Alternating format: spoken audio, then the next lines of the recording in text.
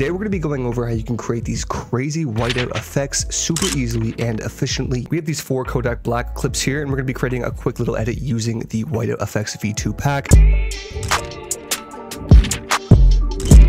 If you guys do want to go grab it, it is linked in the description below. The way I like to pull off these effects is if we go through right where the beat hits right here, drop this here, right click on it, go over to add frame hold and then extend it. As you guys can see here, it freezes that frame just like that. That's going to give us a lot of space to add our whiteout effects onto this layer here. We can open up our objects here and we have a lot of stuff to mess around with. If we just hover through, you guys can see what we can put on here and put them like right here. And all you're really doing is just building a really creative whiteout scene here. So if we go back into the whiteout effects v2 pack and we go over to faces here, you have a bunch of stuff we can put on top top of his face. So I'm going to go ahead. I like the X's there, but let's see if we can find something cooler. I think this will be cool for his mouth here.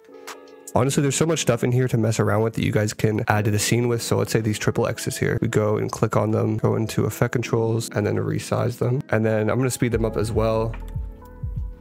Really.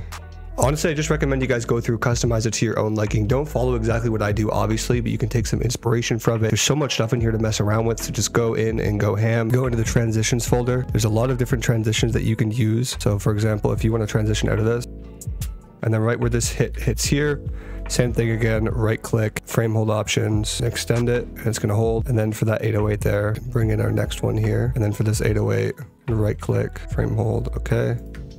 I'm to go through, sauce the rest of these up, and then I'll show you guys how you can create crazy transitions to add a lot of motion to them. And I do recommend throwing like a paper overlay texture on everything just to make it blend a little bit better. And right where that hits there, we'll go and put the paper texture again, put the zoom, and we'll make the zoom a little bit different. Let's throw this one on Kodak. Going back into markups here, you can just throw something like this around the border like that and then this as a markup as well, right? But then what we can do is if we click on this here, go over to opacity, we can cut out Kodak here and invert it and then bring down the mask expansion to the side a bit. I want this to start a little bit earlier and then right where this one hits as well, we can drag and drop our zoom in and our paper texture back on there cool. If we go back into markups here, maybe something like this, we can put starting out like there and then going into effect controls, can just throw it in the corner to fill this void here. And if we duplicate it one more time and then start it from like here, maybe put it right there. And if we take what we have so far and we bring it into After Effects, I'm gonna drag and drop it in here just like so. And now once we have this in here, we're gonna go ahead and sauce it up with some shake sauce. Now, if you guys do not know what shake sauce is, I highly recommend you guys go check it out. It's honestly the most fire extension for After Effects. You guys can get it linked in the description below. Now we're gonna go ahead and create a new adjustment layer just like so. We're gonna go to right before where this hits and we're gonna go over to our shake sauce here and I'm gonna go on and throw on the hard hit with flash just by double clicking. Now it's gonna load for a second and it'll it'll be put on the adjustment layer and we'll have this really cool shake effect on our clip that'll really emphasize the transition and make it a lot more noticeable and stand out. If we hit U on our keyboard here, our keyframes will show up. If we go ahead and play that through, and we want it to hit a little bit more on the beat. So I'm just going to highlight all these keyframes. Now we're to create another adjustment layer here, just like so. We're going to go in between these two clips. We're going to double click and put on the quick hit with flash for this one. So less of an intense shake because this one is more subtle. So if we hit U and we bring these over, we can play it through. And then we're going to create another adjustment layer here. And we're going to throw on the hard hit with flash for this one. Boom, boom, it's on there. Just make sure it hits accurately. And boom, as you guys can see, we have these crazy hits that just add so much more energy to this. And now we're going to export this out and bring it back into Premiere Pro to do some sound design. Now the sound design is really going to sell it. All right, so with this back in here now, we're just going to go ahead and open it up in its own sequence just by nesting it, double clicking on it, and movements in here. Now those shakes just make it next level and just to add to them a little bit where the drawings come in, what we're gonna do is just add some drawing effects here. I'm gonna go in and throw some sound design in here. I have a couple of sound design packs linked in the description below if you guys do wanna go check them out. So just going into here, this paper movement right here, and then a camera shutter as well.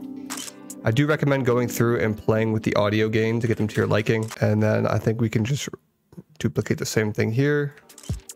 And then we'll do a different paper grab for this one and then different camera shutter for this one.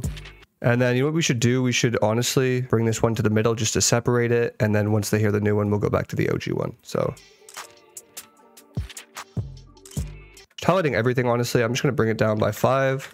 Super sick. And then just to add a little bit more sauce to it, guys, we're going to be checking out my new pack, my whooshes from my whoosh pack. Now, if we just drag these, the best whooshes you'll ever use in here, and then the risers as well, you can go ahead and mess around with these. Throw that whoosh on there just like that. We can go ahead and then turn it down to about minus 10.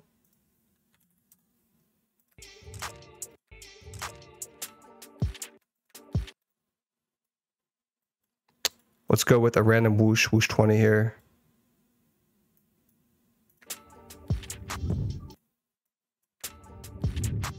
Just playing around with the whooshes and the gain of them.